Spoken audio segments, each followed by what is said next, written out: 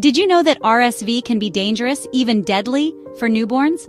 That's why the FDA recently approved a new vaccine just for babies. But what are the side effects? Should you be worried? Stay with me, because this video is for parents, caregivers, or anyone who wants to keep babies safe. RSV, or respiratory syncytial virus, is not just a common cold. It's a major cause of lung infections in infants and young children, especially during winter months. Every year, thousands of babies are hospitalized due to RSV, and sadly, some even die from severe complications like bronchiolitis and pneumonia. So the FDA has approved a vaccine to protect babies. But like every vaccine, there are possible side effects.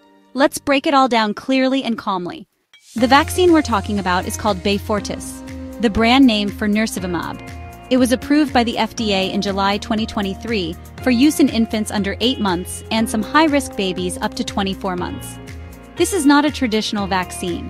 It's a long-acting antibody injection, given as a single dose to protect babies throughout the RSV season. So instead of training the baby's immune system, it provides ready-made protection against RSV. Now let's talk about what really matters, side effects. According to the FDA and CDC reports, most babies tolerate the RSV vaccine very well, but like any medicine, it's not 100% free from risks. Here are the most commonly reported side effects. 1. Injection site reactions, redness, swelling, or tenderness where the shot was given, usually mild and temporary. 2. Fever, low-grade fever in some babies after the shot. 3. Rash, very few cases reported minor rash reactions. 4. Irritability. Some babies may feel fussy or cranky for a day or two, these are all expected and temporary reactions seen in many vaccines. Serious side effects? Extremely rare.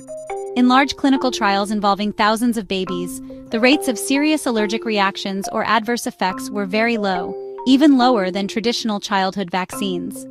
The FDA concluded that the benefits of preventing RSV-related hospitalization far outweigh the small risk of side effects.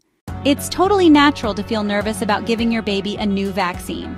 As a parent, your Hash 1 job is to protect your child, and that's exactly what this vaccine helps you do. If you're concerned, ask your pediatrician, is my baby eligible? Are there any specific health issues that might increase risk? What should I watch out for after the shot? Remember, the vaccine is not mandatory, but it's highly recommended for protecting babies, especially during the first RSV season. Let's quickly recap. RSV is dangerous for babies, especially under six months.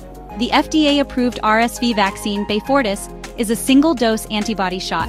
Common side effects are mild, redness, fever, rash, irritability. Serious side effects are extremely rare.